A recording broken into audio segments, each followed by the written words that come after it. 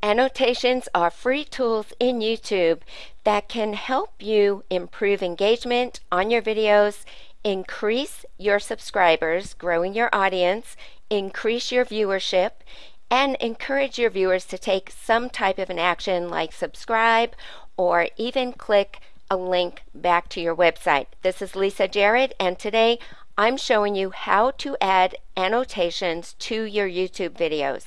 Although there's five different types of annotations, we're going to focus on two of them that really get results. The first one is a note annotation, which creates pop-up boxes on your videos containing text. These are clickable text overlays. And the other one is a spotlight, which highlights very specific areas in your video, like an image, or graphic, or if you have an end card, you can direct your viewers to other videos, back to your website, or subscribe. Let's get started, shall we?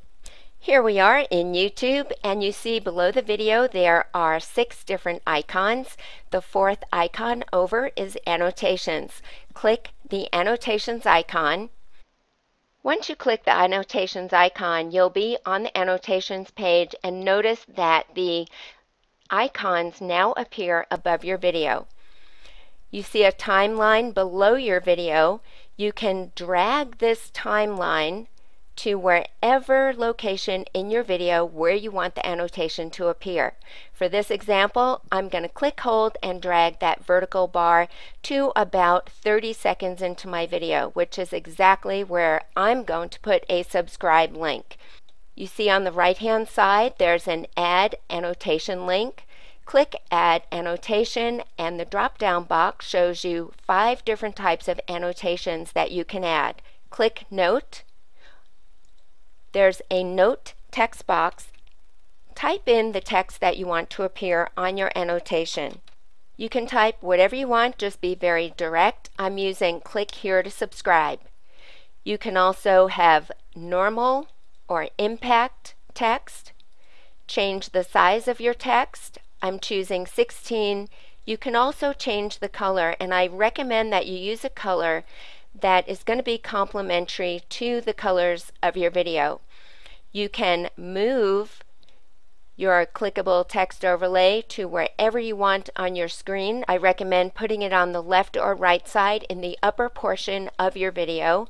And you can also grab these little handles around your clickable annotation to make it bigger or smaller. You can click on the annotation in the timeline to determine how long you want it to appear. I recommend 5 to 7 seconds, no more than 10. The next thing that we do is provide a clickable link. For this annotation, click the drop down list and you'll see there's a number of things that you can select. Click subscribe I have a text file here with my link for subscription and I'm copying and pasting it into the link box. And I'm also selecting open link in a new window. Make sure that you click on save and apply changes. And then you can see exactly how this is going to play out when it's going to appear in your video and if you like exactly where it appears you can leave it where it is or make some type of an adjustment and here's my link appearing right now. The next type of annotation that I'm going to show you is a spotlight annotation.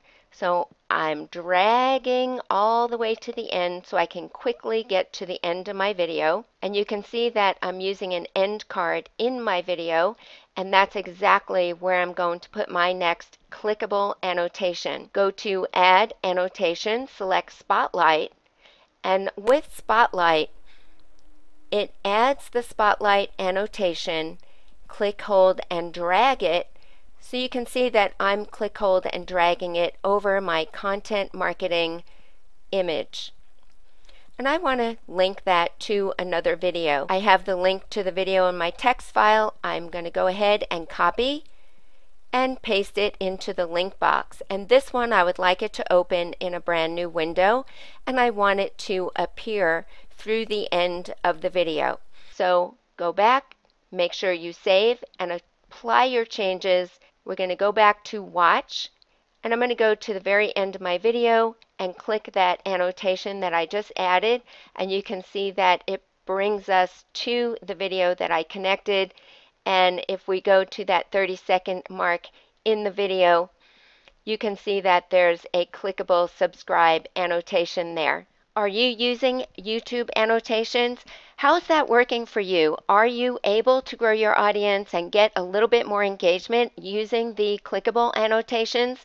Do share your best tips in the comments below.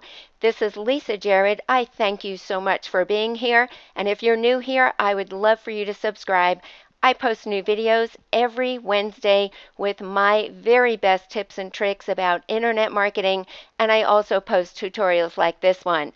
Thank you again, and I'll see you on the next video.